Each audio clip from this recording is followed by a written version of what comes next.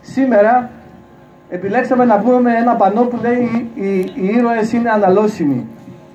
Αναφερόμενοι φυσικά στους ήρωες για τον καιρό της πανδημίας, έτσι μας αποκαλέσανε ήρωες, θα μπορούσαμε εδώ να προσθέσουμε και το οι ασθενείς είναι και αυτοί αναλώσιμοι.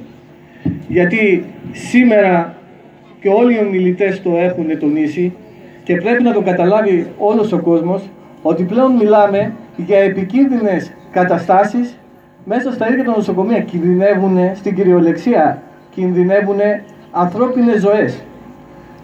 Σήμερα, σήμερα διάβαζα ένα δημοσίευμα για ένα τροχαίο που έγινε στην Ελευθερούπολη και αναγκάστηκε το ασθενοφόρο να πάει από την Καβάλα με αποτέλεσμα να έχουμε μια απώλεια ε, μιας ανθρώπινης ζωής.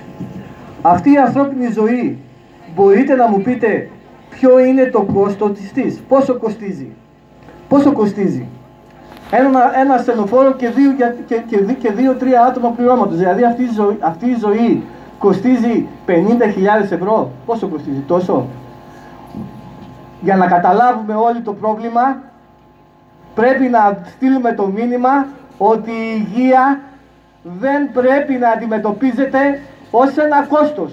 Εκεί είναι ε, συνάδελφοι το στίχημα. Η υγεία δεν έχει ένα κόστος. Η ανθρώπινη ζωή δεν κοστίζει.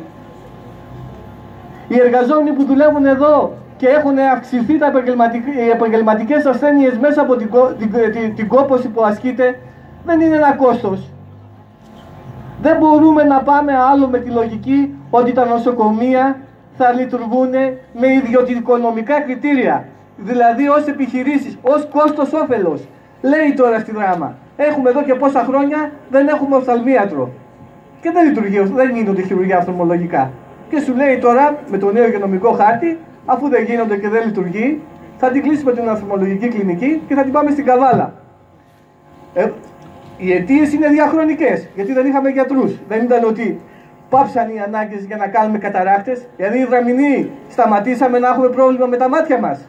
Σταματήσαμε να έχουμε πρόβλημα για να πάμε σε έναν ουρολόγο που εφημερεύει 10 μέρες εδώ, 10 μέρες στην Ξάνθη και 10 μέρες στην Καβάλα. Που πήγε ε, ε, ε, ασθενή με αιματοβρία και τον είπανε σήμερα δεν είναι εδώ, πήγε στην Καβάλα και την άλλη μέρα θα πάει ε, στην Ξάνθη για να επανεξεταστεί. Νομίζω ότι γίνεται αντιληφθό η, η, η κατεύθυνση της κυβέρνησης και όλων των προηγούμενων κυβερνήσεων ήταν να απαλλαγούν με κάθε τρόπο από τις δαπάνες που ξοδεύουν για τη δημόσια υγεία και να οδηγηθεί το μεγαλύτερο κομμάτι γιατί εκεί οδεύει ε, στον ιδιωτικό τομέα. Δικός μας χρέος ως υγειονομική και κλείνω είναι να συνεχίσουμε αυτόν τον αγώνα να παλεύουμε και στο πλάι μας σας θέλουμε όλους εσάς.